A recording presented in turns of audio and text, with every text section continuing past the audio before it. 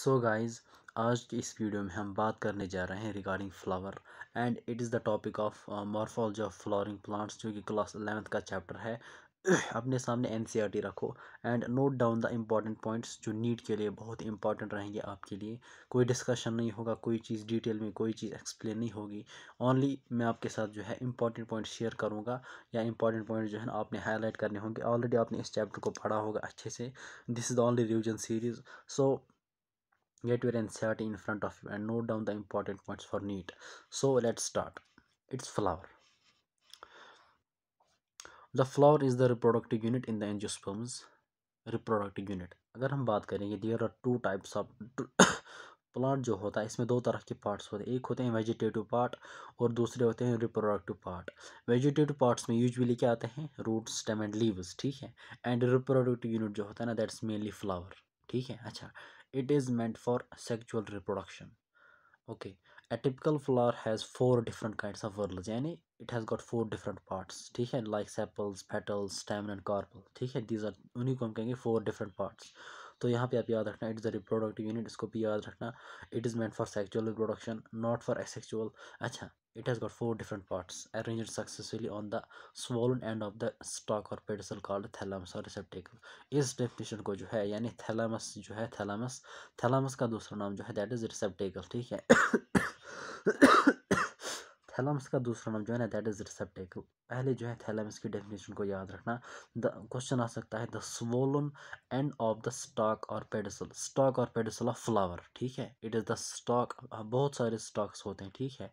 एक होती है जो है ना लीफ की स्टॉक और दूसरी होती है जो है दैट इज़ द स्टेमिन जो होता है ना स्टेमिन के दो पार्ट्स होते हैं that is the filament and the anther जो कि हम आगे पढ़ेंगे। उस, वो जो फिलामेंट होती है ना that also represents the stalk of the anther इसी तरीके से फ्लावर जो है स्टॉक ऑफ़ द फ्लावर और पेडिसल जो है, उसका सोल एंड जो होता है ना दैट इज़ कॉल्ड थैलामस और रिसेप्टेकल ठीक है? और रिसेप्टेकल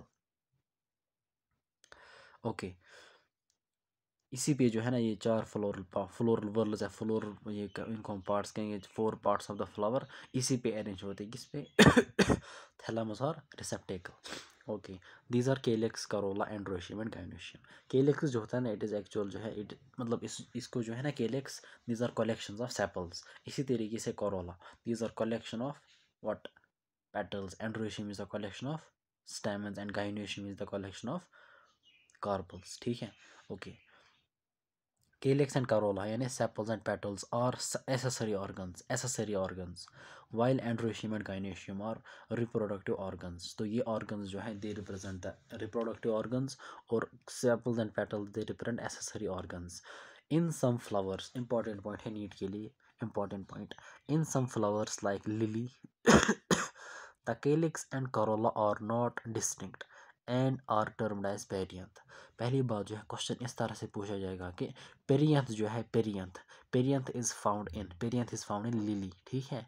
और क्वेश्चन इस तरह से भी पूछा जाएगा कि when calyx and corolla are not distinct, the term the term is referred as, उस टर्म को हम क्या कहेंगे? जब calyx and corolla नॉ मतलब इनडिस्टिंग्विशेबल होंगे इनडिस्टिंग्विशेबल या when they are not distinct इस टर्म को हम यू कहते हैं उस टाइम पेरियंथ ठीक है? और ये भी याद रखना पेरियंथ इज़ फाउंड इन ली यहाँ पे ये टर्म याद रखना swollen end of the swollen end of the stalk और pedicel इज़ कॉल्ड थैलमस और receptacle ठीक है ये पॉइंट ये वाला इंपॉर्टेंट पॉइंट रहेगा और यहाँ पे ये पॉइंट रहेगा पेरियंथ अच्छा When a flower has both androecium and gynoecium, it is bisexual. Bisexual flower हम उस flower को कहेंगे जिसमें दोनों parts होंगे. A flower having only either stamens or only carpels it's called unisexual यानी जिस फ्लावर में सिर्फ़ एक ही रिप्रोडक्टिव यूनिट होगा, एक ही रिप्रोडक्टिव पार्ट होगा, उसको हम कहेंगे यूनिसेक्चुअल बाइसेक्चुअल के और बाइसेक्चुअल के लिए जो है और एक टर्म यूज़ होती है दैट इज़ मोनोशियस ठीक है मोनोशियस और यूनिसेक्चुअल के लिए दूसरी term use that is that is called dioecious ठीक है, जब जब सेक्स आर सेपरेट ठीक है, उसको हम कहते हैं डायोशियस जब एक ही ऑर्गेनिज्म में, यानी यहाँ पे फ्लोर की बात कर रही है, दोनों सेक्स जब प्रेजेंट होंगे, यहाँ पे फ्लोर में दोनों रिप्रोडक्टिव पार्ट्स प्रेजेंट है, इसको हम कहते हैं बाइसेक्चुअल और मोनोशियस और यूनिसेक्चुअल और डायोशियस अच्छा उसके बाद जो है that is symmetry in symmetry symmetry की बात कर रहा है द फ्लोर में भी एक्टिनोमॉर्फिक और जाइगोमॉर्फिक एक्टिनोमॉर्फिक के लिए याद रखना it's also called radial symmetry और zygomorphic that's also called as bilateral symmetry okay अब एक्टोनोमार्फिक फ्लावर किसको हम कहेंगे? या radial symmetry when a flower can be divided into two equal halves into any radial plane any radial plane को याद रखना any radial plane जो है ना दैट्स कॉल्ड एक्टोनोमॉर्फिक और radial symmetry any radial plane अच्छा passing through the centre it is said to be actinomorphic तो पहली डेफिनेशन याद रखना है कि एक्टोनोमॉर्फिक या रेडियल सिमेट्री का रेडियल सिमेट्री किसको हम कहेंगे, ठीक है? उसके बाद याद रखना कि रखना कि एक्टोनोमॉर्फिक फ्लावर जो है, ये किन में पाए जाते हैं? It's found in mustard datura and chilli M D C याद रखना यहाँ पे कोड एम डी सी उसके बाद जो है one flower can be when it when it can be one when it can be divided into two similar half only in one particular vertical plane जब only one याद रखना, देखो यहाँ पे है एनी रेडियल प्लेन एनी कितने ही divisions आप करो it can be divided to radial half लेकिन यहाँ पे जो है, यानी साइकोमॉर्फिक यानी बायोलेटरल सिमेट्री में जो है, हम फ्लावर या किसी भी ऑर्गेनिज्म को डिवाइड करते हैं to two equal parts only through one plane only one plane ठीक है? ओनली वन प्लेन अब वर्टिकल प्लेन हो कोई भी plane it's only one plane यहाँ पे होता है एनी प्लेन अच्छा इट्स कॉल्ड जाइकोमॉर्फिक एग्ज़ाम्पल क्या है? It is pea gulmohar bean and cassia ठीक है? एग्जाम्पल्स को अच्छे से याद रखना डेफिनेशन और एग्ज़ाम्पल उसके बाद जो है फ्लावर इज़ एसिमेट्रिक यानी these were these were the symmetric flowers asymmetric and zygomorphic these were the symmetric flowers and asymmetric कौन है? एसिमेट्रिक यानी irregular if it can not be divided into similar halves इसकी भी definition याद रखना और याद रखना कि एसिमेट्रिक फ्लावर जो होता है ना इट्स फाउंड इन कैना ठीक है? इट्स फाउंड इन कैना तो यहाँ पे जो है, ये सिमेट्री के रिगार्डिंग इसके लिए जो है, कुछ फॉर्म मतलब जो मैंने जो है ना, किस तरह से इन एग्जाम्पल्स को याद रखा था you can see from here you can see. Like suppose यहाँ पे जो है ना पेरियंथ मतलब यहाँ पे मैंने सिर्फ़ एग्जाम्पल्स को लिखा है डेफिनेशन को नहीं लिखा है। तो पेरियंथ जो होता है it's found in lily actinomorphic flower यानी A R A stand for actinomorphic R stand for radial symmetry it's found in mustard datura and chilli ठीक है, इसके लिए आप कोड रख कोड रखेंगे यार it's M D C M D C mustard datura chilli zygomorphic जो है ना it is it is B G B stand for bilateral symmetry and G stand for zygomorphic it's found in pea bean gulmohar and cassia it's P B G C P B G P B G C PUBG PUBG like PUBG P B G C okay asymmetric जो है ना that's found in canna ठीक है? So these were the examples of different types of on the base of symmetry ठीक है? Different types of flowers की example थी, जिन डिफरेंट टाइप्स ऑफ़ प्लांट्स जिनमें जिनमें सिमेट्रिक और ए सीमेट्रिक फ्लावर्स पाए जाते हैं नाउ उसके बाद जो है that is this A flower may be trimerous, tetramerous or pentamerous when the floral appendages are in the multiple of three, four और five. यानी जब number of appendages तीन होंगे तो उसको हम कहेंगे trimerous, जब चार होंगे तो tetramerous यानी floral appendage है floral parts और जब पाँच होंगे उसको हम कहेंगे pentamerous. Okay, flowers with bracts are called bracteate and those without bracts are called ebracteate. पहले जो है ब्रैक्ट की डेफिनेशन को याद रखना ये ब्रैक्ट किसको हम कहते हैं ठीक है ये ब्रैक्ट जो है, ये किसको हम कहते हैं? It is a reduced leaf found at the base of pedicel reduced leaf found at the base of pedicel is called it's called bract तो डेफिनेशन याद रखना ब्रैक्ट की it is reduced leaf found at the base of pedicel at the base of pedicel कहे गए आप stalk ठीक है? Stalk of the flower या पेडिसल ओके okay. तो उसको हम कहते हैं ब्रैक्ट और जिन फ्लावर्स में ये ब्रैक्ट प्रेजेंट होता है, उनको हम कहते हैं ब्रैक्टिएट और जिनमें नहीं होता है, यानी जिनमें एबसेंट होता है they are called ebracteate so अगर हम बात करेंगे अगर हम बात करेंगे इस पेज की ओवरऑल जो है इस पेज की अगर हम बात करेंगे यहाँ से फ्लावर से तो सबसे पहले जो मोस्ट इंपॉर्टेंट पॉइंट जो है दैट इज़ दिस जो एन e ने वहाँ से भी हाईलाइट किया है that is the definition of thalamus and receptacle उसके बाद जो है that is the perianth perianth की डेफिनेशन और पेरियंथ किन में पाया जाता है? उसके बाद जो है that is on the base of symmetry actinomorphic zygomorphic symmetry किसको हम कहेंगे? और ये किन में पाई जाती है? उसके बाद जो है ऑल्सो ए सिमेट्रिक फ्लावर किन में पाया जाता है? दैट इज़ कहना और ट्राइमेरस टेट्रामेरस पेंटामेरस कंडीशन किसको हम कहते हैं? After that it is bract इसकी डेफिनेशन को याद रखना।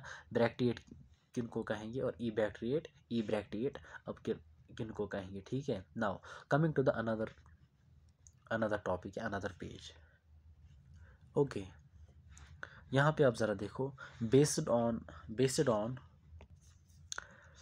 based on the position of calyx corolla and androecium in respect in respect of the ovary on thalamus ठीक है? या with respect to the position of या sorry based on the position of calyx corolla and androecium in respect of the ovary on thalamus the flower are describe as hypogynous perigynous and epigynous. तो इन तीन flowers को याद रखना, ठीक है? Hypogynous, perigynous and epigynous they are the three flowers based on the position of calyx corolla and corolla based on the based on the position of calyx corolla and androecium in respect of the ovary in respect of the ovary हमेशा, या in respect of the gynoecium भी कह सकते हैं, ठीक है? On thalamus flowers of three types hypogynous perigynous epigynous अब hypogynous perigynous epi hypogynous और पेरीगाइनस एपिगाइनस में इंपॉर्टेंट क्या चीज़ है? इनमें जो है सबसे इंपॉर्टेंट चीज़ जो है that is the definition that is the definition और उसके बाद जो है, ओरी जो है सुपीरियर किन में होती है? इन्फीरियर किन में होती है? हाफ़ इन इन्फीरियर ओरी किन में होती है? वो भी इंपॉर्टेंट है। और तीसरी पॉइंट तीसरा पॉइंट जो है दैट इज़ द एग्जांपल यानी हाइपोगैनस फ्लावर या सुपीरियर ओरी जो है, ये किन में पाई जाती है? ठीक है? So let's move on hypogynous flower in hypogynous flower the gynoecium occupies the highest position highest position अगर आप यहाँ पे देखोगे, ये है ना यहाँ पे जो है ना ये structure this is your thalamus this is your thalamus इसके ऊपर क्या है that is that is your female reproductive part that is the carpel और जो है ना this represents your ovary this ovary this ovary this represent ovary this bulged part ठीक है? अच्छा ओवरी जो है that occupies the highest position while other parts are situated below it अगर आप दूसरे पार्ट्स की बात करोगे लाइक ये जो है ना, ये छोटा सा यह इट इज़ सेपल ये जो है ना, ये कलर वाला it is petal this is apple this is petal and this is your stamen ठीक है? ये वाला स्टेमिन है अगर आप देखोगे, ओवरी ने ओवरी ने हाईएस्ट पोजीशन ऑक्यूपाई की है in with respect to these three parts या हम कह सकते हैं दीज थ्री पार्ट जो है ना they are situated below the ovary और इस फ्लावर को हम नाम देंगे that is the hypogynous flower ठीक है हाइपोगाइनस अब अगर देखो यहाँ पे पॉइंट आ रहा है कि ओवरी ने जो है दैट इसने ऑक्यूपाई की हाईएस्ट पोजीशन ठीक है? हाईएस्ट पोजीशन तो यहाँ पे जो है इस ओवरी को हम कहते हैं that is the that is that's called superior ovary superior ठीक है? सुपीरियर इन्फीरियर मान लीजिए हाइस्ट हाइस्ट मतलब सुपीरियर हाइस्ट ओके अब ये किन में पाया जाता है? That's found in mustard China rose and brinjal, ठीक है? एग्जाम्पल्स को याद रखना। सुपीरियर को याद रखना that's in hypogynous flower hypogynous की डेफिनेशन याद रखना ओवर ये ऑक्यूपाइज द हाइस्ट पोजिशन उसके बाद जो है that is the case of perigynous this is the case of perigynous this the case of perigynous यानी B and C okay if gynoecium gynoecium का मतलब? ओवरी तो आप यहाँ पे जो है ना, यहाँ पे in respect of the ovary के बदले जो है गाइनोशियम भी लिख सकते हो। तो गाइनोशियम जो है, यहाँ हम कह सकते हैं ओवरी इज़ इफ़ ओवरी और gynoecium is situated in the centre and other parts of the flower are located on the rim of the thalamus almost at the same level it's called perigynous and ovary it is to be half inferior. It's found in plum rose and peach देखो क्या कह रहा है। अगर आप यहाँ पे देखोगे इट्स योर ओवरी और गाइनोशियम इट्स योर ओवरी ठीक है? तो these are present at the centre these are present at the centre of the these are present at the centre these are present in the centre ठीक है? याद रखना। Centre मतलब centre मतलब centre मतलब पेरीगाइनस सी पी ठीक है? Centre minus centre मतलब हाइपोगाइनस हाँ सेंटर का मतलब पेरीगाइनस हाइस्ट का मतलब हाइस्ट का मतलब hypogynous H stand for highest H stand for H square ठीक है? H stand for highest H stand for hypogynous and C P C stand for centre and P stand for perigynous definition को याद रखना and other parts of flower located on the rim of the thalamus ये है ना यहाँ पे this is your thalamus ये वाला स्ट्रक्चर ये वाला structure this is your thalamus ये जो है ना this the rim of thalamus thalamus का रिम ठीक है? Here is the rim of thalamus और यहाँ पे अदर पार्ट जो है ना they are present at the rim of thalamus almost at the same level यानी सेम लेवल का मतलब जिस लेवल पे ये होता है ना, ये आपकी ओवरी उसी लेवल पे। अगर आप यहाँ पे देखोगे इसको they are almost at the same level ठीक है? They are almost present at the same level same level यहाँ पे जो थी यहाँ पे सेम लेवल पे नहीं थी यहाँ पे जो है they are located the below ठीक है? Here is the level of your ovary here is the level of your ovary ठीक है? सो so, यहाँ पे इसलिए इस ओवरी को कहा जाता है superior they are located the below other parts are located below but these are located almost at the same level अच्छा इसको हम कहते हैं ओवरी को half inferior so half inferior is found in perigynous these are the cases of half inferior उसके बाद जो they are found in plum rose and peach epigynous flower obviously जो है, ये हाइपोगाइनस का अपोजिट होता है. हाइपोगाइनस का अपोजिट इज़ एपिगाइनस हाइपोगाइनस में क्या होता था? हाईएस्ट पोजीशन इसमें क्या होता है? आप देख लेना। The margin of the thalamus grows upward enclosing the ovary completely and getting fused with it अगर आप देख सकते हो यहाँ पे जो है ये वाला केस जो है हेयर ये वाला जो है ना here is this the portion of ovary and ovary has been completely completely enclosed by the enclosed by thalamus it means कि थैलमस ने जो है, इसने अपवर्ड डायरेक्शन में ग्रो किया है and it has enclosed the ovary completely and gets fused with it और इसके साथ ही फ्यूज़ हो गया, ठीक है? एंड अदर जो है other parts arise above the ovary ovary के ऊपर से जो है, वो अराइज हो गए हैं। तो यहाँ पे जो है, अगर आप ओवरी की पहली पोजिशन देखोगे एपिगैनस की डेफिनेशन को याद रखना पहले जब आपका थैलामस ग्रो करेगा अपवर्ड्स ठीक है and will enclose the ovary complete and get fuse with it उसके बाद जो है, उसके बाद जो है दैट इज़ अगर आप पोजीशन देखोगे अदर पार्ट्स की, और ओवरी की पोजीशन जो है, यहाँ पे ओवरी की पोजीशन जो है ना दैट इज़ इन्फीरियर ठीक है मतलब बिलो यहाँ पे हमने बोला था कि अदर पार्ट्स जो है they grow below the they grow other parts are situated below it other parts are situated below the ovary जब बिलो होंगे अदर पार्ट्स तो ओवरी उस टाइम होगी सुपीरियर ठीक है? लेकिन यहाँ पे जो other parts they are situated above the ovary तो यहाँ पे जो ये है ओवरी जो है ओवरी नीचे है. ओवरी जब नीचे होगी ना बिलो उसको हम कहते हैं इनफी उसको हम कहते हैं इन्फीरियर ठीक है? इन्फीरियर ओवरी और जब हाइस्ट पोजिशन हाइस्ट मान लीजिए हाइस्ट या लोवेस्ट या एबो मतलब ओवरी जो होती है ना that is the highest position उसको हम कहेंगे सुपीरियर ओवरी यहाँ पे जो है when the ovary is situated situated below the other parts या एट द लोवेस्ट लेवल उसको हम कहेंगे इन्फीरियर ओवरी ठीक है, यहाँ पे जो है ना तो बिलो है, ना तो अब है बिल्कुल एट द सेम लेवल है. That's why is called half inferior अच्छा अब ये किन में पाया जाता? है it's found in inferior ovary या epigynous condition in in the flowers of guava and cucumber and the ray florets of sunflower ray florets of sunflower so these were the types of flowers based on the position of calyx corolla and androecium in respect of ovary or gynoecium or the thalamus अब यहाँ पे जो है इसके लिए कुछ codes यहाँ पे मैंने जो है मैं आपके सामने रखने जा रहा हूँ that goes like this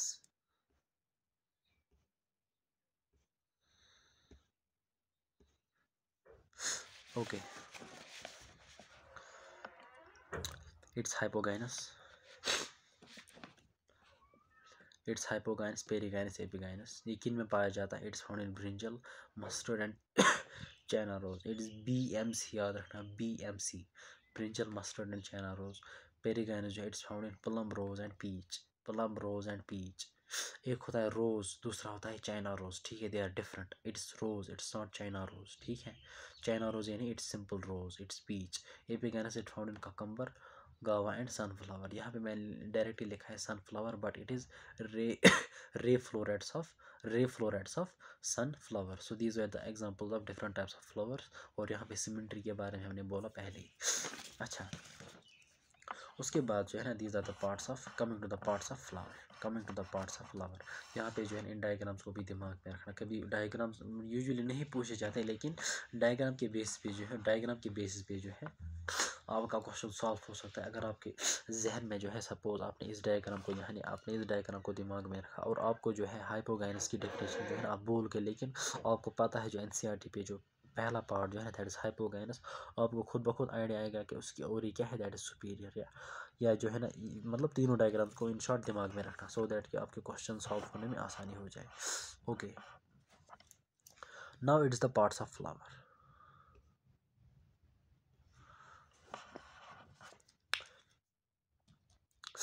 each flower normally has four floral ये हमने पहले ही बोला था। ओके इट्स केलेक्स केलेक्स का मतलब sepals the calyx is the outermost whorl of the flower तो क्वेश्चन आ सकता है कि outermost part outermost floral appendage outermost whorl of the flower is that is calyx और sepals and the members are called sepals ठीक है? So members of the calyx are called sepals obviously calyx represent members of collection of sepals. Sepals are green leaf like and protect the flower in the bud state. ये बहुत important बहुत ही important point आने वाला है कि that is the function of sepals they protect the flower in the bud state इसको याद रखना एग्जामिनेशन के लिए. The calyx may be gamosepalous और पॉलीसेपलस गैमो का मतलब फ्यूज्ड और यूनाइटेड ठीक है? गैमो का मतलब यूनाइटेड और फ्यूजड वैन सेपल्स और फ्यूजड और यूनाइटेड कंडीशन को नाम देंगे गैमोसेपल्स और पॉलीसेपल्स का मतलब when sepals are free poly means free ठीक है? Poly means free okay condition को याद रखना उसके बाद है करोला करोला का मतलब that is carpels corolla is composed of pat sorry sorry sepals petals stem carpel corolla ka matlab petals petals petals are usually bright colored to attract insects for pollination ये है function of किन की sepals petals petals की function है ये ठीक है petals sepals की फ़ंक्शन थी they protect the flower in the bud state और यहाँ पे इनकी फ़ंक्शन है to attract the pollinators because they are flower मतलब they are brightly coloured okay like calyx corolla में ऑल्सो बी फ्यूजड और may be also be fused और united fused और ओके गैमोसेपेलस कंडीशन किसको हम कहेंगे when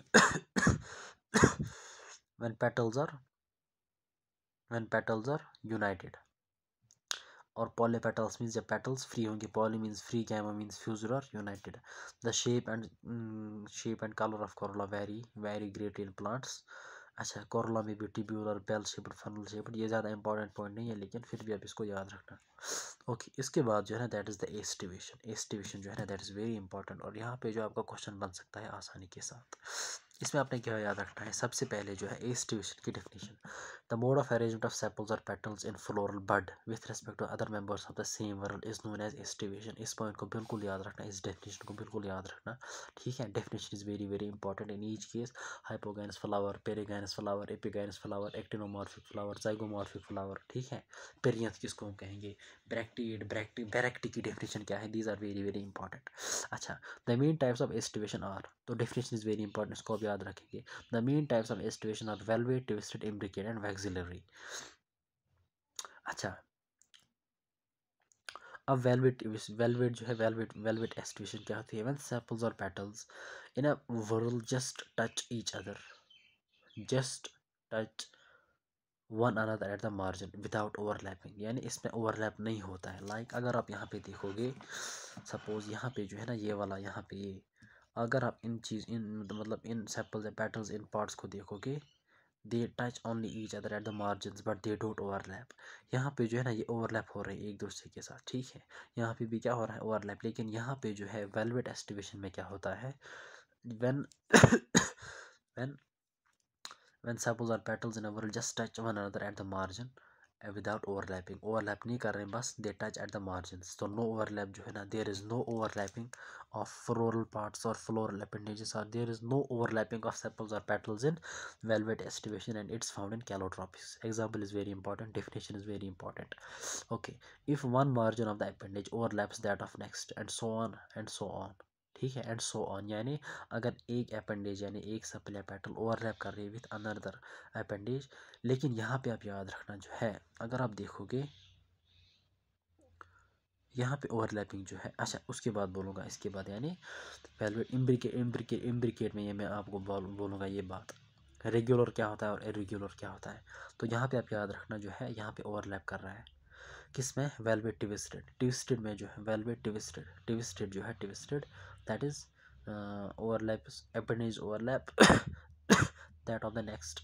It's found in china rose lady's finger and cotton. ठीक है example याद रखना उसमें याद रखना जो है वेलवेट में दैट इज़ कैलोट्रॉपिस इसमें अब याद रखना China rose ladies finger and कैलो अच्छा ladies finger and cotton it's called twisted okay if the margins of sepals or petals overlap one another but not in a ये important point है but not in a particular direction not in a particular direction अगर आप यहाँ पे देखोगे यहाँ पे specific direction होती है overlapping की मतलब same direction मतलब ये वाली मान लीजिए suppose अगर मैं इसको मान लूँ it's one it's two it's three it's four it's five और यहाँ पे मैं इसको मान लूँ it's one it's two it's three it's four it's और five okay अगर आप यहाँ पे देखोगे सपोज़ जो सक्सेस हुई, यानी वन जो है, ये किसके किसके ऊपर ओवरलैप कर रही है? टू टू किसके ऊपर? थ्री थ्री किसके ऊपर? फोर फोर किसके ऊपर? फाइव फाइव किसके ऊपर? वन पे ऊपर. यानी यहाँ पे जो है, अगर आप किसी एक अपेंडेज को देखोगे ऑन वन साइड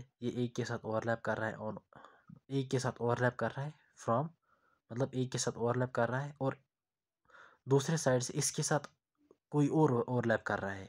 यानी ये एट एस मतलब टाइम दोनों के साथ ओवरलैप नहीं कर रहा है। आप यहाँ पे देखो देखो। अगर आप यहाँ पे देखोगे ना इस वाले फोर्थ को, ये ओवरलैप कर रहा है इसके साथ भी ऑन दिस साइड और इसके साथ भी ऑन दिस साइड बात आ रही है समझ? यहाँ पे जो है कोई अपेंडेज एट अ टाइम दोनों के साथ ओवरलैप नहीं कर रही है, बल्कि एक के साथ ओवरलैप कर रही है और एक उसके साथ ओवरलैप कर रही है। इसी को हम कहेंगे जो है ओवरलैपिंग जो है ओवरलैपिंग जो है that is in a particular direction लेकिन यहाँ पे जो है ओवरलैपिंग जो है ना but not in a particular direction that is in case of imbricate well estimated twisted as imbricate यहाँ पे जो है overlapping is not in a particular direction suppose यहाँ पे जो है फ्लोरल मतलब ये वाले अपेंडेज ये किसी के साथ ओवरलैप नहीं कर रही है, बल्कि इसके साथ जो है ये वाला ओवरलैप कर रहा है और ये वाला, ठीक है? और इसी तरीके से ये एक के साथ कर रहा है एक के साथ नहीं कर रहा है। एक के साथ कर रहा है एक के साथ नहीं कर रहा है सो इन शॉर्ट आपने याद रखना है कि जब ओवरलैपिंग पर्टिकुलर डायरेक्शन में नहीं होगा, उसको हम कहेंगे इम्ब्रिकेट और जब पर्टिकुलर डायरेक्शन में होगा, उसको हम कहेंगे that is twisted okay imbricate is found in imbricate it's found in Cassia and gulmohar okay in pea and B B bean flowers there are five petals यहाँ पे जो है ना this is the most important aestivation that is vexillary और इसको हम पेप्लियोनेशियस aestivation भी कहते हैं पेप्लियोनेशियस इसमें जो है they have got five petals the largest one is called standard ये वाली जो पेटल है, इसको हम कहते हैं स्टैंडर्ड ये वाली पेटल इसको हम कहते हैं standard overlaps the two lateral petals. ये जो दो लेटरल पेटल्स है, इनके साथ ये ओवरलैप कर रहा है स्टैंडर्ड वाली।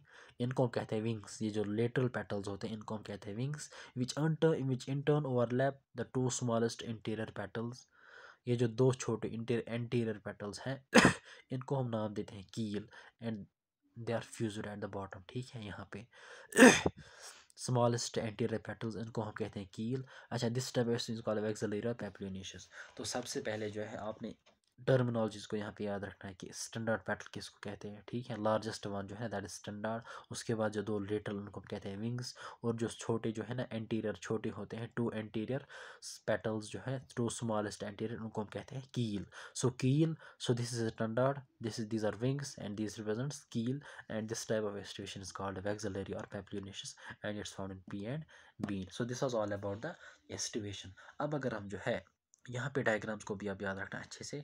अब अगर जो है यहाँ पे जो है ना मैंने यहाँ पे कुछ कोड्स मैंशन किए हैं that goes like this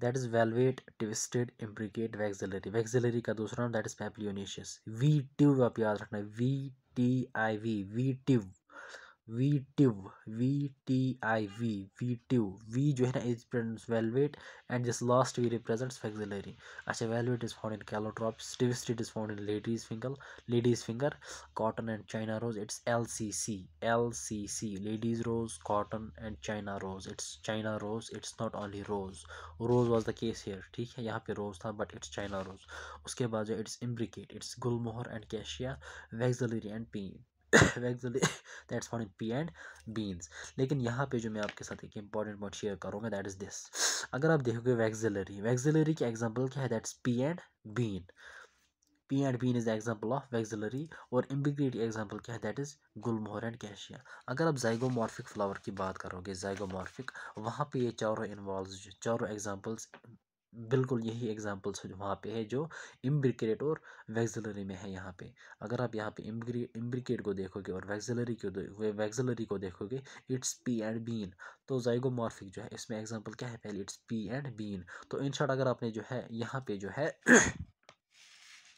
यहाँ पे आप याद रख सकते हो याद रख सकते हैं इम्ब्रिकेट और वैक्सिलरी में आपको वहाँ पे याद आना चाहिए, it is zygomorphic flower. Zygomorphic flower में आपकी एग्जांपल क्या है? It's P B G C P and B पहली दो एग्जांपल्स जो है ना, ये आएँगे वैक्सिलरी में और दूसरी दो एग्जांपल्स जो है ये किसमें आएँगी? इम्ब्रिकेट तो आप यहाँ पे, वहाँ पर इस तरह से भी लिख सकते हो लाइक दिस मतलब जाइगो मान लीजिए, जाइगो फॉलोड बाय या जायको का मतलब जो है ना, इसकी example it's P B G C P B को मान लीजिए it's it is P B it is vexillary and G C जो है ना इट इज़ इम्ब्रिकेट ठीक है? इस तरह भी आप याद रख सकते हो आसानी के साथ. So these were the types of aestivation now coming to the androecium and gynoecium okay androecium androecium का मतलब male reproductive part that is stamens androecium is compose of stamens पता है each stamen which represents the male ये भी पता है। Male reproductive part consist of stalk filament and an anther तो यहाँ पे आप याद रखना स्टेमन जो होता है it has got two parts it has got two parts one is the stalk उसको हम कहते हैं filament and another is the anther each anther is usually bilobed. Each lobe has two chambers, the pollen sacs and the pollen grains are produced in pollen sacs जब हम twelfth में जो है reproduction and flowering plants पढ़ लेंगे। वहाँ पे हम डिटेल्स में हमने पढ़ना है, ये पोलन सेक्स क्या होते हैं पोलन ग्रेन्स क्या होते हैं एंथर क्या होता है। तो यहाँ पे आप याद रखना फ़िलहाल ऐसे ही जो जो हमारा ये ये, जो हमारा एंथर होता है ना मतलब like anther is like this this represents your anther anther की एक स्टॉक होती है ना स्टॉक इसको हम कहते हैं फिलामेंट और ये वाला स्ट्रक्चर जो होता है ना दैट इज़ सॉरी सॉरी ये जो है ना, ये वाला स्ट्रक्चर इस this is your stamen stamen के दो पार्ट्स होते हैं इस इट्स इसकी स्टॉक स्टेमिन की स्टॉक जो है दैट इज़ कॉल्ड फिलामेंट और इसका वाला ये पोर्शन जो है, ये वाला portion that's that's called anther ठीक है? अच्छा एंथर जो होता है ना इट्स बायोलोबड यानी इसके दो लोब्स होते हैं, इसके दो लोब्स होते हैं यूजुअली ठीक है? इसके दो लोब्स होते हैं, इस तरह, दो लोब्स इस तरह से है, होता है, इस तरह लाइक दिस इस तरह, ठीक है? It has got two lobes अच्छा it says each anther is bilobed bilobed मतलब two lobes and each lobe has two chambers अगर आप सिंगल लोब की बात करोगे सिंगल लोब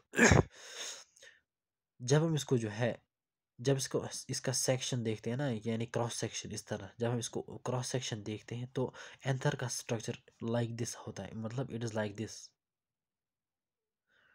butterfly like इस तरह से इसका स्ट्रक्चर होता है, ठीक है? ये मान लीजिए इसका एक लोब ये मान लीजिए इसका दूसरा दूसरा लोब ठीक है? इसको मैंने इस तरह से काटा, इस तरह से क्रॉस सेक्शन और आपके सामने जो है ना, मान लीजिए, ये मान लीजिए जो है, ये हमारे पास जो पेन है पेन को मैंने यहाँ पे काटा, ठीक है? पेन को मैंने यहाँ पे काटा और आप ये इस तरह से देख रहे हो ऊपर से और आपको क्या दिखाई दे रहा है यहाँ पे? जो है, यहाँ पे आपको दिख रहा है bilobe structure two lobes one lobe two lobe and each lobe जो है each lobe has two chambers ये ना, ये मान लीजिए एक लोब ये दूसरा लोब ईच लोब जो होता है ना, यहाँ पे दो चैम्बर्स होते हैं. एक एक चैम्बर ये, दूसरा चैम्बर ये, ठीक है? और यहाँ पे भी एक चैम्बर ये, दूसरा चैम्बर ये. सो हम कह सकते हैं कि each anther is bilobed and each lobe has each lobe has two chambers जब दो चैम्बर्स यहाँ पे एंड दो चैम्बर्स यहाँ पे तो टोटल कितने चैम्बर्स आ गए? चार चैम्बर्स और ये चैम्बर जो होता है ना, इसको हम कहते हैं पोलन सैक ठीक है? So there are four pollen sacs या अगर आप ट्वेल्थ में बात करेंगे, इनको हम ऑल्सो कहते हैं माइक्रोस्पोरेंजियम ठीक है? या microsporangia the pollen grains are produced in pollen sacs इन्हीं मतलब इन्हीं सैक्स में, इन्हीं माइक्रोस्पोरेंजिया में जो है पोलन ग्रेन्स यानी मेल गमीट्स प्रोड्यूस होते हैं। अच्छा अच्छा इंपॉर्टेंट पॉइंट आने वाला है। Sterile stamen is called staminode sterile stamen is called staminode directly पूछा जा सकता है sterile stamen is called staminode okay stamens of flower में भी यूनाइटेड विथ अदर मेंबर्स यहाँ पे ये कह रहा है कि स्टेमिन्स जो हो सकते हैं दे में बी यूनाइटेड मतलब दे में बी फ्यूजड ठीक है? They may be fused with other members अब अदर मेंबर्स कौन कौन सा है? Such as they can be fused with the petals और एमंग दम यानी एमंग दम मतलब एक दूसरे के साथ। तो अगर आप यहाँ पे देखोगे तो अगर आप यहाँ पे देखोगे जो है व्हेन व्हेन यूर स्टेमिन जो है when your stamen is fused और यूनाइटेड विद पेटल्स अच्छा वेन स्टेम्स आर अटैच्ड और fuse to petals they are epiphyllous as an brinjal और epiphyllous when attach to perianth as in flowers of lily तो यहाँ पे जो है, आपने जो है, तीन चीज़ों को याद रखना है। One is your epi epi condition and another is epiphyllous और एपीफाइलस। एपीपेटल्स का मतलब जब आपकी स्टेमिन जो है, जब आपका स्टेमिन जो है, किसके साथ यूनाइट होगा, किसके साथ अटैच होगा, किसके साथ फ्यूज़ होगा पेटल के साथ, उस कंडीशन को कहते हैं कहते हैं हम एपीपेटलस एंड एपीपेटलस कंडीशन जो है that's found in brinjal it's found in it's found in brinjal और एपीफिलस जो है, जब आपका जब आपका स्टेमिन किसके साथ यूनाइट होगा पेरियंथ के साथ, ठीक है? इट्स फाउंड इन लिली तो यहाँ पे आपको ऑलरेडी पता होगा पेरियंथ जो है इट्स फाउंड इन लिली तो यहाँ पे भी आप याद रखना एपिफाइलस जो है epiphyllous condition it's found in lily okay the stamens in a flower may be either remain free polyandrous और may be united to varying degrees जब फ्री होंगे ना फ्री स्टेमिन यानी जब वो यूनाइटेड नहीं होंगे, जब वो फ्यूजड नहीं होंगे, उस कंडीशन को हम नाम देते हैं पॉले एंड्रस पॉले एंड्रस or they may be fuse to varying degrees अच्छा फ्यूजुड फ्यूजुड की कंडीशन यहाँ पे याद रखना दैट इज़ लाइक एडल्फस हाँ? Monadelphous diadelphous polyadelphous the stamens may be united और फ्यूजुड इन वन बंच और वन बंडल जब वन बंडल में होंगे, उसको हम कहते हैं मोनो एडल्फस जब दो बंडल्स में होंगे, उसको हम कहेंगे डायडल्फस जब मोर देन टू बंडल्स होंगे या मोर देन टू बंचेस होंगे, उनको हम कहते हैं पॉली एडल्फस तो यहाँ पे आप याद रखना, पहले जो है these are the types of यानी जब स्टैमन यूनाइटेड होंगे, ठीक है? अच्छा किन में पाया जाता है monadelphous condition that is China rose China rose में देखी जाती है मोर एडल्फस कंडीशन पी में क्या पाई जाती है? That is diadelphous diadelphous condition citrus जो होता है इसमें पाई जाती है polyadelphous condition okay there में be variation in the length of filaments within a flower as in salvia and mustard so salvia और मस्टर्ड जो है, इनमें क्या पाई जाती है? Variation in the length of filaments यानी स्टेमिन जो है, आपके स्टेमिन का जो स्टॉक होती है दैट इज़ फिलामेंट उसकी लेंथ में वेरिएशन पाई जाती है in the flower in the flowers of salvia and mustard so अगर आप यहाँ पे देखोगे ओवरऑल जो है फ्लावर इस टाइम जो हम पढ़ रहे हैं तो यहाँ पे एग्जांपल्स बहुत सारी आ रही हैं, बहुत सारी एग्जांपल्स बहुत सारी टर्म्स बहुत सारी डेफिनेशंस तो इनमें आपने क्या करना है? एग्जाम्पल्स को आप सेपरेटली नोट करोगे, ठीक है? जिस तरह मैंने यहाँ पे जो है आपके सामने मेंशन किया है। बिल्कुल आप इसी तरीके से जो है, इसी तरीके से एग्जांपल्स के लिए पेज वाला, इस पेज को आप आसानी के साथ लिख सकते हो, ठीक है? और एग्जांपल्स के लिए जो है, आप इसी पेज को रिवाइज कर सकते हो आसानी के साथ। बाकी डेफिनेशन डेफिनेशन को आप जो है एन से ही रिवाइज कर लेना। अच्छा यहाँ पे जो मैंने लिखा है it is it is it is it is अच्छा गैमोसेपल्स को मैंने हम, हमने पहले डिस्कस किया था वैन और sepals are free gamo means fused जब जब आपके सेपल्स फ्यूजड और यूनाइटेड होंगे. पॉलीसेपल्स मतलब मैन सेपल्स आर फ्री उसके बाद जो है that is gamo petals gamo petals मतलब जब आपके पेटल्स जब आपके पेटल्स फ्यूजड और यूनाइटेड होंगे. पॉली पेटल्स मतलब जब आपके पेटल्स फ्री होंगे. अभी हमने बात की थी epi petals when your stamen fused और अटैचड विथ पेटल यहाँ पे एपी पेटल्स कंडीशन जो थी, यहाँ पे एपी पेटल्स और एपी फाइलस यहाँ पे मैंने लिखा है epipetalous condition is found in brinjal epiphyllous condition is found in lily अच्छा उसके बाद जो है दैट इज़ स्टेमन्स के बारे में that's polyandrous that is free monadelphous diadelphous diadelphous and polyadelphous it's one bundle two bundle more than two bundle it's found in China rose monadelphous C P C P C याद रखना सी P सी यानी आप दिमाग में याद रखना मोनोएडल्फस डायडल्फस polyadelphous उसके बाद कोड रखना याद it's C P C it's China rose pea and citrus ठीक है? उसको मतलब जब स्टेमिन फ्यूज यूनाइटेड होंगे उनमें जो है एडल्फस की कंडीशन आ रही है monadelphous diadelphous and polyadelphous so this was all about your androecium अब हम बात करेंगे रिगार्डिंग गाइनोशियम ओके गाइनोशियम पहली बात गाइनोशियम फीमेल तो पता ही है reproductive part of flower and is made up of one और मोर कार्बल से भी पता है। अच्छा अब कार्बल की बात आ रही है। कार्बल जो होता है carpel stigma sorry staminate carpel. Carpel जो फीमेल पार्ट होता है, इसकी तीन पार्ट्स होते हैं, that stigma, style and ovary. Stigma, style and ovary. अगर आप यहाँ पे देखोगे, यहाँ पे जो मैंने यहाँ पे दिखाया है, यहाँ पे विथ रेड कलर, यहाँ पे मैंने दिखाया है विथ रेड कलर। सपोज़।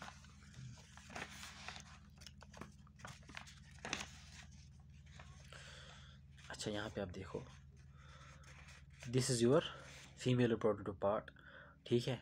ऊपर जो है ना, ऊपर this is the stigma receptor surface for the pollen grains जब पोलिनेशन के टाइम पोलन ग्रीन स्टिग्मा पे लैंड करता है it is stigma this is style and this is your ovary and this is your thalamus ठीक है? ये वाला जो है ना, ये this is the thalamus this is your stigma, style and ovary. This overall represent the female reproductive part, that is the carpel okay. Stigma style and ovary ovary is the enlarged basal part अगर आप ovary की बात कर रहे हो कि ovary जो होते हैं ना that is enlarge and is the basal part stigma is usually at the tip of style and is set to surface मैंने आपको पहले ही बोला it is set to surface for the pollen grains style connects ovary to the stigma that is the very very important point style connects the ovary to the stigma stigma अच्छा। St uh, stigma is usually at the tip of style and is the receptive surface for the pollen grains. Okay. Each ovary bears one or more ovules ठीक है? यानी ovary के अंदर क्या present होते हैं? Ovules and those ovules are attached to placenta placenta हमेशा याद रखना these are flattened cushion like structures तो क्वेश्चन आ सकता है flattened cushion like structures present in the ovary are they are called placenta और प्लेसेंटा जो है they give attachment to ovules यानी ओव्यूल्स इन्हीं के साथ जुड़े रहते हैं inside the ovary when they when more than one carpel is present they may be free obviously जब फ्री होंगे फ्री होंगे, उनको हम नाम देंगे यहाँ पे जूम क्यों नहीं हुआ है?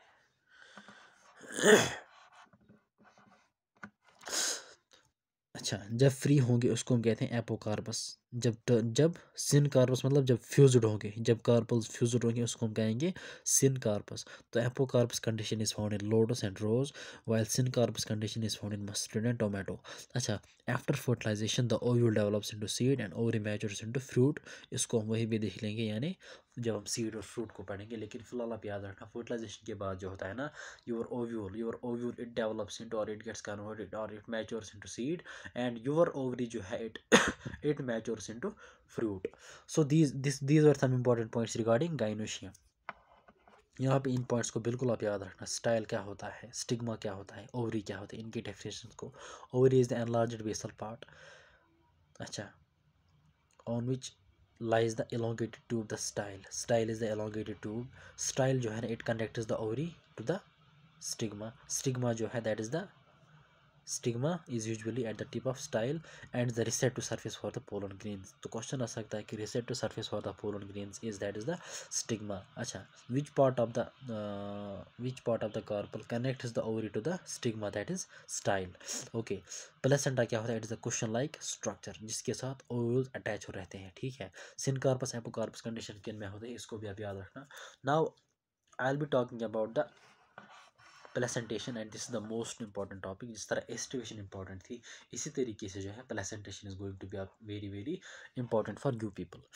Placentation की डेफिनेशन आप याद रखें जिस तरह आपने एस्टिवेशन की डेफिनेशन को याद रखा था प्लेसेंटा प्लेसेंटेशन की डेफिनेशन क्या होता है? It is the arrangement of ovules within the ovary simple arrangement of ovules within the ovary it's known as placentation arrangement of ovules इसी तरीके से पूछा जा सकता है कि like the arrangement of ovules या placentation refers to arrangement of ovules देखो क्वेश्चन किस तरह से बन सकता है यहाँ पे?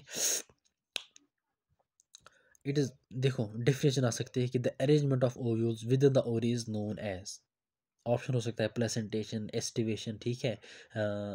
वेनेशन कोई भी ऑप्शन होगा, लेकिन वहाँ पे जो है ना इट इज़ द प्लेसेंटेशन अच्छा क्वेश्चन आ सकता है।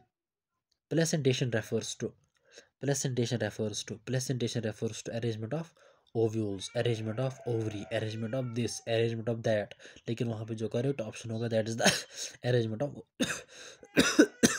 arrangement of ovules अच्छा उसके बाद प्लेसेंटेशन की types marginal axile parietal basal central and free central इनके टाइप्स आप याद रखना, अच्छे से ठीक है। यहाँ पे भी जो है, जिस तरह हमने इस सिचुएशन में डेफिनेशन की बात की थी, वहाँ पे डेफिनेशन याद रखना है। और एग्जांपल यहाँ पे भी अपने डेफिनेशंस को याद रखना है और एग्जांपल्स को याद रखना है। और यहाँ पे मोर इंपॉर्टेंटली जो है डायग्राम्स को भी आपने याद रखना होता है, ठीक है? जो कि यहाँ पे दी गई on the right side on your right side ये जो डायग्राम्स दी गई यहाँ पे, इनको भी आपने जो है, अच्छे से याद रखना होगा। तो पहले जो है, हम डेफिनेशन की बात करेंगे then after that we will move on to the diagrams marginal placentation में क्या होता है? The placenta forms a ridge forms a ridge along the ventral suture of the ovary and the ovules are born on this ridge forming two rows as in pea तो पहले definition याद रखना that is very very important उसके बाद याद रखना marginal placentation that is found in pea यहाँ पे इस डायग्राम को आप देख लेंगे, ऊपर वाली ए जो है ना ए ये दिस एन एग्जांपल ऑफ़ मतलब ये किस, ये किसको रिप्रेजेंट करता है? मार्जिनल को एम मार्जिनल प्रेजेंटेशन अच्छा उसके बाद क्या है? That is that is axile that's axile A X axile okay when the placenta is axial and the ovules are attached to it in a multilocular ovary multilocular मतलब chambered ठीक है? Your ovary is chambered locule हम किसको कहें? Chamber को, locule. Locule is also called chamber, ठीक है? तो योर ओवरीज मल्टी लॉक्यूलर और multi chamber the placenta to be axile. It's found in China, rose, tomato and lemon. Examples को याद रखना और डेफिनेशन को याद रखना जो है, that is the examples of, that is the example of axile. Uh, axile axile क्या कह सकते हो आप? Exile exile, okay. इसमें क्या है? अगर आप देखोगे this ovary this is multilocular है multi chambered and your and your your placenta is axile and the ovules are attached in multilocular ovary उसके बाद जो है here is the case of parietal अब पैराइटल में क्या होता है? इसकी एग्जांपल ज़्यादा रखना एक्साइल की इट इज़ लेमन चैन और tomato okay In parietal placentation, the ovules develop on the inner wall of the ovary or peripheral part. Inner wall of the ovary and or the ये बहुत important point है. Inner wall of the ovary और peripheral part दो, देखो, ovary के दो walls मतलब अगर ओवरी के पार्ट ओवरी का वॉल जो होता है ना मतलब उसका इनर इनर पार्ट होगा, यानी inner wall and outer wall ठीक है? तो it develops on the inner wall of the ovary और द पेरिफेरल पार्ट और the peripheral part ovaries one chambered ovaries one chambered और सिंगल हम कह सकते हैं ओवरीज वन चैम्बर्ड मतलब ovaries unilocular ovaries unilocular but it becomes two chambered due to the formation of false septum ठीक है? It becomes two chambered due to the due to the formation of false septum तो यहाँ पे जो example आप याद रखें that is the mustard and argemone here is the example of this this is parietal parietal अगर आप यहाँ पे देखोगे ओव्यूल जो है ना, यहाँ पे ovules are like this ovules are attached to the outer wall, sorry inner wall और यहाँ पे मतलब यहाँ पे लग रहा है कि it seems this is the outer wall, but this not the outer, this the inner, this is the outer wall, ठीक है? This the outer portion, this the inner portion और दिस कॉल्ड पेरिफेरल पार्ट, ठीक है? This is the peripheral part and ovules जो होते हैं ना they are कहाँ गए? Ovules develop on the inner wall of the ovary and the periphery or, or on peripheral part अच्छा ovary is single chambered but it becomes two chambered due to the presence of or formation of false septum to question पूछा ja sakta hai कि false septum जो होता है ना, ये किन में पाया जाता है? False septum is formed in mustard और ऑर्चिमोन अच्छा when the ovules are borne on the central axis and the septa are absent so septum जो होता है ना, देखो, यहाँ पे दो क्वेश्चन सेप्टम किन में प्रेजेंट होता है? फॉल सेप्टम या septum it's present in mustard and argemone while in dianthus primrose septa are absent septum is absent ovules are borne on the central axis यहाँ पे आप देख सकते हो, देख सकते हो they are borne on the central axis ठीक है? So this was all about this was all about marginal axile parietal parietal parietal axile parietal it is free central ठीक है? The placentation is called as free central और basal की example basal की diagram जो है ना it is this basal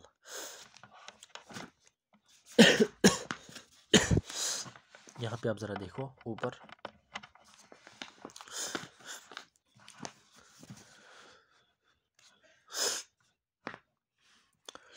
that was called free central. Acha.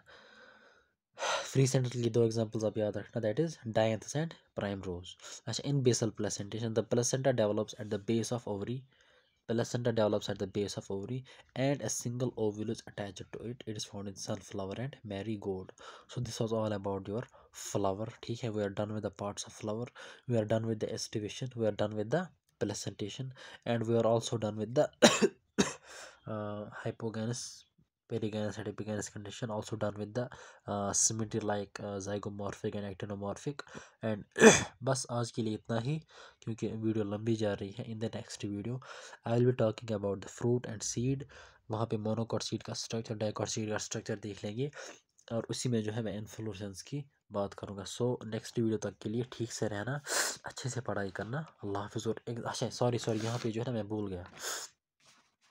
यहाँ पे एस्टिवेशन के कोर्स में भूल गया था sorry it's your marginal axile parietal free central and basal इसके लिए आप कोड याद रखना it's map F B map F B ठीक है? तो मार्जिनल की एग्ज़ाम्पल दैट्स पी सिंपल सी बात है, क्योंकि एक ही एग्ज़ाम्पल है, खुद ब खुद याद रहेगा.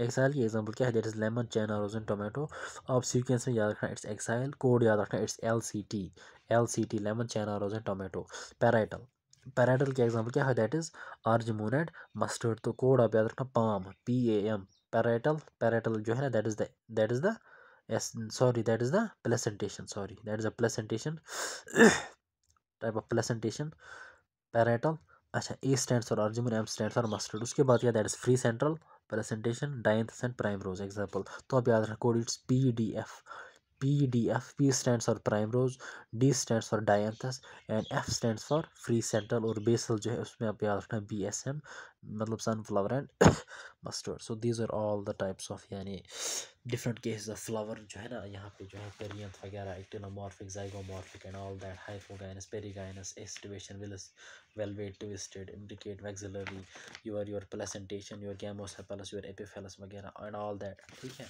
so इन examples को अच्छे से आप याद रखना इनको नोट भी करना, इनको जो है ना डेली बेसिस पे रिवाइज किया करो सो so दैट कि आपकी कोई भी एग्जांपल मिस ना हो जाए, कोई भी क्वेश्चन आपका गलत ना हो जाए। सो नेक्स्ट वीडियो तक के लिए अल्लाह हाफिज़, ठीक से रहना और दुआओं में याद रखना।